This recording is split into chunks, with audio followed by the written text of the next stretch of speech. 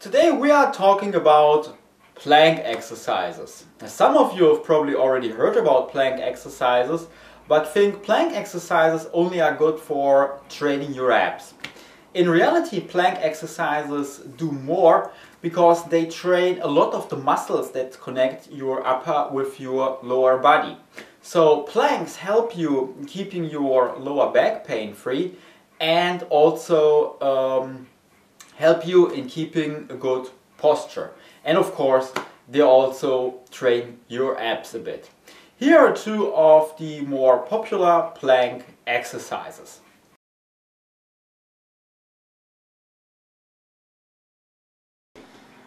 What you're supposed to do when you do planks is, as their name implies, that you put your body into a straight line that resembles a plank.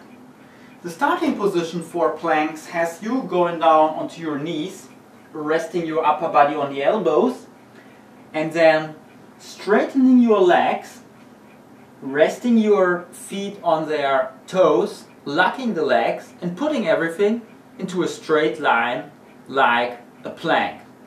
Your head is relaxed and you keep the abs flexed the entire time. What you are not supposed to do is raise your behind in the air, letting it drop, or letting your upper body sag between the shoulders.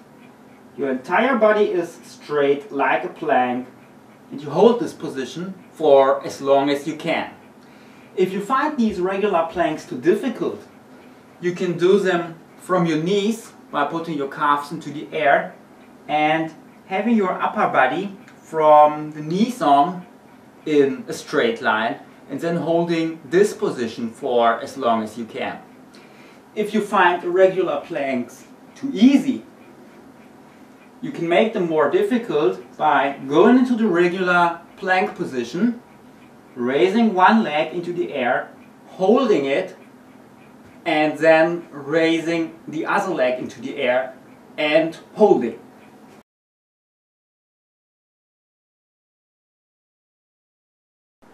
The other ab exercise is called side planks and as the name implies here you're again supposed to put your body into a straight line like a plank but this time like a plank that is resting on its side. In the starting position for side planks has you resting on your side one leg atop of the other both are straight um, resting the upper body on one elbow and the unused arm on top of the top leg and then raising the middle of your body until this here is a straight line. Again, you relax your head, keep the abs flexed, and making sure your behind is not sticking out to the back or front. You keep again this position for as long as you can and then switch over to the other side. The question of course is when and how many you should do of these planks and my recommendation here is to do them after your regular ab workout so that you don't take away from your performance there.